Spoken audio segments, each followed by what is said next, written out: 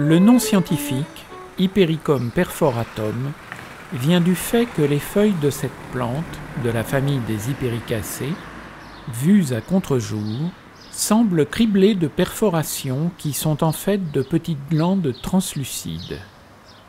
Ces noms communs, millepertuis, herbe à mille trous, traduisent cette même particularité. Commune dans la flore française, elle est d'origine eurasiatique et est devenue, au fil du temps, quasi cosmopolite. Elle jouit d'une réputation médicinale affirmée. Dans sa thèse de pharmacie de 1942, Remèdes populaires en Dauphiné, Madeleine Rivière-Cestier de Grenoble indique que le médecin grec Dioscoride, au 1er siècle, conseillait déjà d'appliquer cette herbe en cataplasme afin d'étancher le sang des blessures et de guérir les brûlures.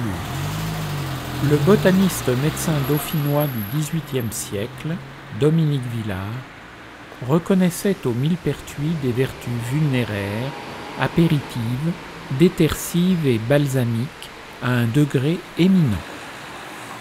L'herbe à mille trous entrait dans la composition de nombreux remèdes, dont certaines préparations côtoyaient la sorcellerie, comme cette huile de baume excellent, pour laquelle on devait faire bouillir dans un jus gras de cet hypericum des vers de terre bien lavés au vin et deux petits chiens en vie de l'âge de 8 à 15 jours.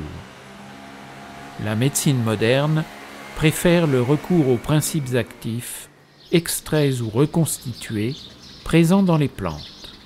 Cependant, une huile de ce millepertuis, obtenue par macération des fleurs, est encore employée pour le traitement des brûlures et des contusions, malgré quelques problèmes de photosensibilité.